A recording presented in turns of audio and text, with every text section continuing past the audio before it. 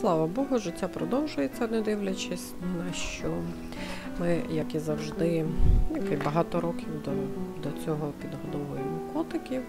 Ця кішечка нам трапилася в такому не зовсім звичайному місці, не там, де ми їх годуємо, тому вже насипали трошки на цей бордюрчик, навіть не було тарілочки, куди її насипати, але зараз головне, щоб їм було що поїсти вже.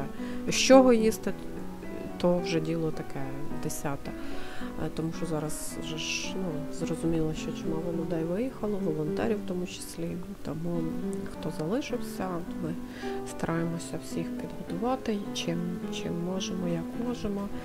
І котиків е, ми в основному годуємо собачок, потроху підгодовуємо. Зараз дуже багато тварин з'явилося, що вони втікали від е, звуків війни. Тому зараз вони особливо потребують нашої підтримки. Ось котик натирається, бідненький, і хоче і погладитися, і поїсти, все, все одразу біднесенький.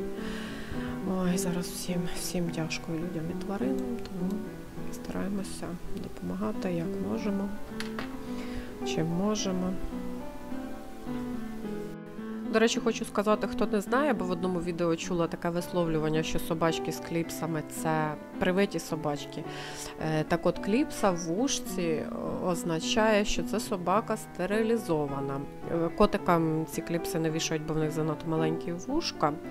А от кліпса у вусі собачки означає, що вона стерилізована, ну і звичайно привита теж, тому що їх одночасно там, як правило, стерилізують і прививають.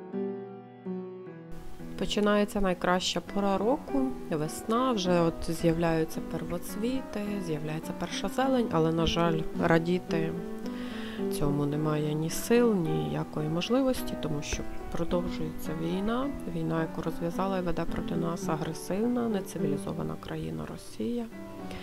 Я бажаю нам всім якнайшвидшої перемоги, повної, тотальної перемоги над е, Росією і миру і благополуччя на наших українських теренах.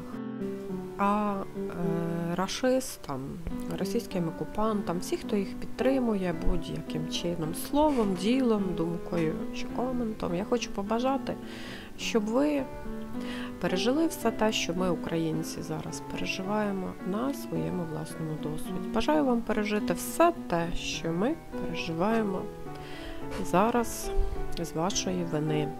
І також хочу сказати, е, мені вже не так мало років, і я бачу і знаю, що цей такий фундаментальний закон життя, закон Всесвіту. Що посієш, те й пожнеш, він працює, і тому кожен отримує по заслугам, і це безсумнівно і беззаперечно. Єдине, що не знаю, чи на жаль, чи на щастя, буває, що цей закон спрацьовує вже в наступних поколіннях. Тобто кара може пасти за злодіяння предків на їхніх нащадків, на дітей чи онуків. Тож, мабуть, не одне покоління росіян буде нести відповідальність за ті злодіяння, які вони зараз створять на нашій землі.